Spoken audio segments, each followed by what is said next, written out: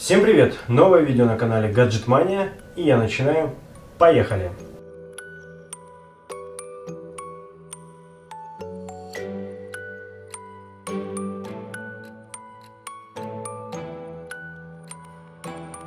Сегодня я хочу поговорить с вами об электронных стабилизаторах. Я начал задумываться, почему бы мне себе не приобрести, да я вообще пользовался электронными стабилизаторами. Я сотрудничал с компанией Jiyuan, или как она называется, и у меня было два стабилизатора. Это для экшен камер и для смартфонов. Для экшен камер мне прослужил верой и правдой год-полтора, и потом я его продал. А стабилизатор для смартфона, соответственно, пришел в негодность, потому что я его носил в чехле, и в какой-то момент моторы перестали работать. Сейчас мне для нескольких проектов, как я понимаю, нужен электронный стабилизатор для того, чтобы делать плавные красивые проводки и чтобы заказчики были рады. И вот стал выбирать, соответственно, в интернете. И у всех на слуху сейчас DJI Osmo Mobile 3, и это действительно хороший стабилизатор за свои деньги. Стоит он от 10 тысяч вариаций комбо до примерно 11,5, плюс доставка, если в вашем городе нет. Но я подумал, блин, не хочу я это делать, не хочу заморачиваться, покупать новый, потому что есть определенные бюджеты. Я сейчас нахожусь в городе Архангельск, э, позади меня Титан Арена, это самый большой торговый комплекс. Я начал мониторить Авито туда-сюда и столкнулся с молодым человеком, его, по-моему, зовут Сергей. Серега, тебе большой привет, ты вроде как подписался на канал и должен меня сейчас смотреть. Так вот, он продавал э, электронный стабилизатор, купленный им, как потом выяснилось, на Амазоне с специальным каким-то дополнительным оборудованием. Мы с ним сошлись в цене, и вот он, Жена Смут, или как он называется, если я не ошибаюсь, Смут, не Смут, в общем, вот он. Прямо, да, Smooth 4 это вот такой вот большущий, хороший, красивый электронный стабилизатор для телефона. Почему эта модель? Давайте немножко расскажу почему выбор пал, и я стал искать именно эту модель. Если честно, здесь прикольно и, скажем так, привлекает, мне привлекло внимание, что есть специальное кольцо фокусировки, либо кольцо э, зумирования. Есть не на всех стабилизаторах, и, в принципе, соотношение цена-качество. Я уже с данной компанией сталкивался, хоть у меня и сломался, повторюсь, один из их стабилизаторов, но сломался он мне, скорее всего, по моей вине. Так вот, Smooth 4 э, считался на 2018 год одним из лучших мобильных стабилизаторов, то есть стабилизаторов для смартфона. Что он умеет? У него очень много режимов съемки. У него, как я говорил, есть колесо фокусировки, колесо зумирования. Он может держать смартфоны, в том числе с дополнительной оптикой, если какой-то контрбаланс э, приспосабливаешь, либо фирменный, либо придумываешь сам. То есть непосредственно телефон с оптикой не так давно, вот буквально несколько дней назад, я узнал, что в принципе, раньше, помните, покупали разные такие китайские а объективы на телефон, там фишай, макро и так далее. Но по сути это были какие-то пластиковые неудачные вариации. И после этого я не думал об этом. А несколько дней назад э, я познакомился, мои знакомые, кстати, большой привет вам, Саша и Андрей. Они меня познакомили с миром дополнительных объективов для мобильных телефонов. И я очень сильно захотел именно снимать на мобильный телефон, для того, ну, чтобы получалось красиво. Это надо делать вот как раз таки со стабилизатором и так далее. Давайте уже более близко познакомимся и посмотрим на него вблизи. Повторюсь, стабилизатор человек заказывал с Amazon, уже продается давным-давно на территории России. Оставлю ссылки на Америку, Китай и непосредственно, где можно его приобрести в России.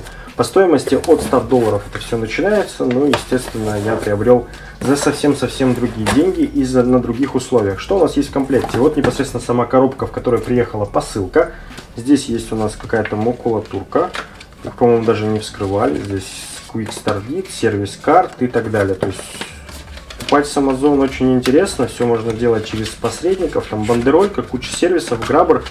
Это нам сейчас не совсем интересно. Вынимаем коробочку. Здесь у нас также есть вот такая вот протирочка для экрана или еще для чего-то. Собственно, сам стабилизатор. Коробка белая, ничем не примечательная, сразу вынес, вынесен весь функционал, что умеет снимать в портретной и в альбомной ориентации. В комплекте провод, э, тренога и сам кейс для хранения и транспортировки и изображение G1. Есть везде голограммы, фактическое подтверждение, что это оригинальная продукция. Вот так вот потихонечку это все достается.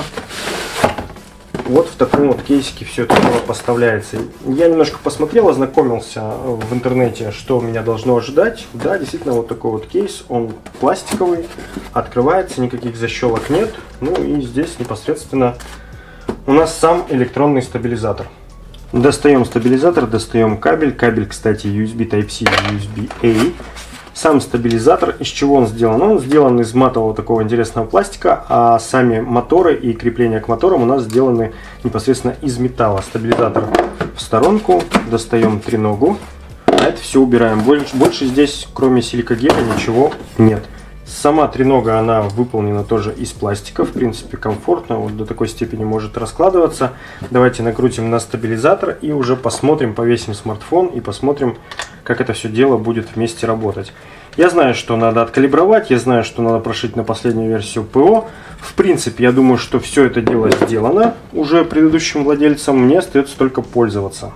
После того, как вы установили ваш стабилизатор на трипод, то есть на треногу, отрегулируйте его с помощью специальных винтов для того, чтобы он приобрел примерно вот такое вот состояние для того, чтобы он не заваливался ни лево, ни вправо, ни вверх, ни вниз. И вы можете смело включать. Если вам потребуется какая-то дополнительная калибровка, просто зайдите на официальный сайт производителя, скачайте определенные драйвера, специальное ПО и откалибруйте ваш стабилизатор согласно инструкциями, которыми они будут вас снабжать.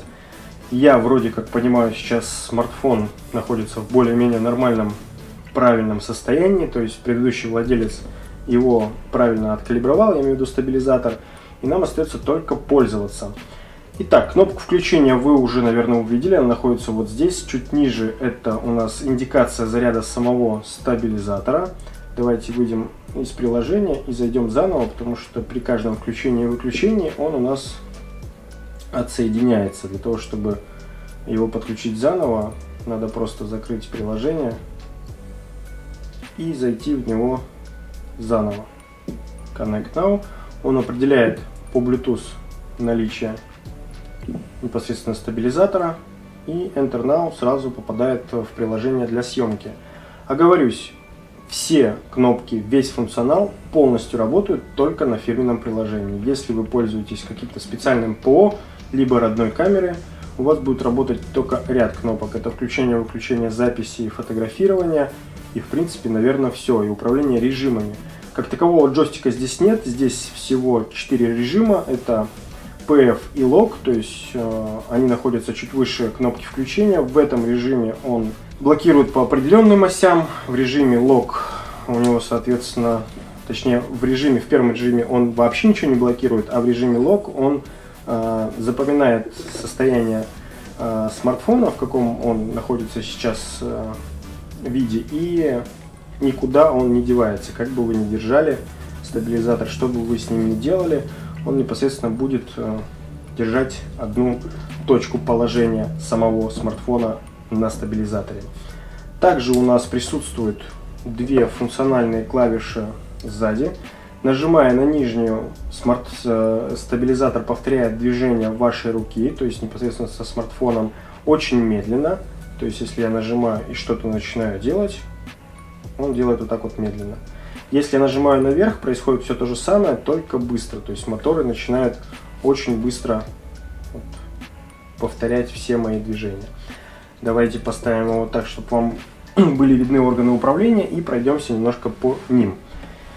Помимо кнопки включения и переключения режимов, вы видите колесо, колесо зумирования. Если нажать на цель вот с таким вот перекрестием, то функционал меняется на непосредственно фокус и расфокус. Вы можете, скажем так, можно назвать его follow focus или как-то еще.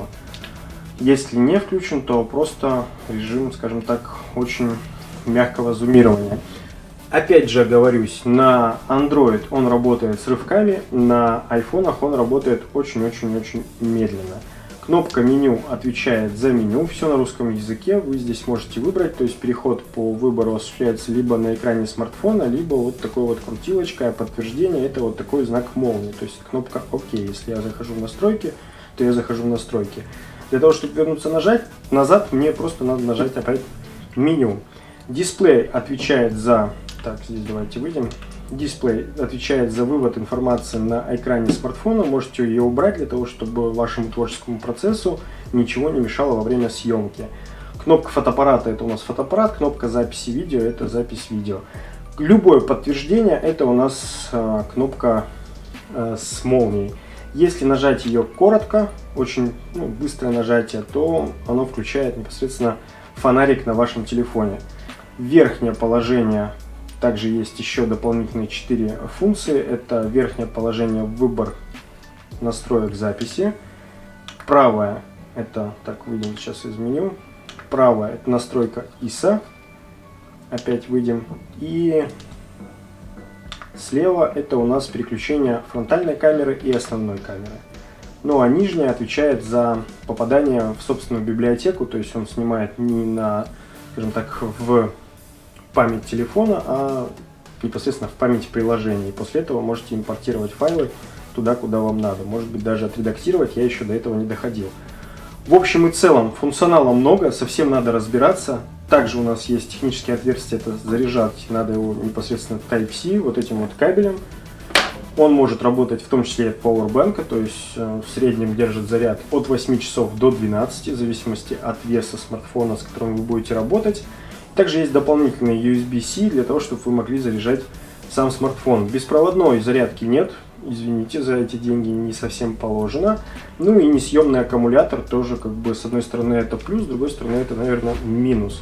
В принципе и все. Пластиковый, с виду очень добротно собран, все здесь остальное металлическое. В принципе, за эти деньги, наверное, слово в принципе сказал несколько раз, но действительно здесь принципиально качество, виси деньги. То есть сколько заплатил, столько и получил. Но здесь качество оно не страдает. На мой взгляд, не должно страдать, потому что по первым впечатлениям он должен работать очень-очень хорошо. По режимам съемки, если зайти непосредственно в Э, в настроечке здесь действительно можно ну, прям россыпь сцена. Так, так, движение, ходьба, follow, gimbal. В общем, надо разбираться, честно, не хочу сейчас перегружать вас информацией. Я думаю, что в последующем, если вам будет интересно, поставьте лайк, напишите об этом в комментариях и напишите слово Donald Duck, чтобы я понял, что вам это интересно и вы досмотрели до этого момента. Мы с вами разберем саму программу Zplay и весь функционал, который может предоставить через это фирменное приложение. Потому что, повторюсь, э, многие пользуются другим сторонним ПО, и уже вот весь это россыпь этих э, органов управления и весь всех этих кнопочек, она уже будет не задействована. Давайте назад и вот так. В общем и целом, наверное, как-то так. Поэтому подписывайтесь на канал, совсем скоро вас ждет очень интересный контент. И не, не у всех блогеров и не у всех, скажем так, авторов есть то, что покажу вам я. Поэтому подписывайся, комментируй, ставь лайк. Если понравилось, ставь дизлайк. Если не понравилось, пиши свое мнение в комментариях. Я обязательно всем отвечу. Совсем скоро увидимся. Всего доброго. Пока-пока.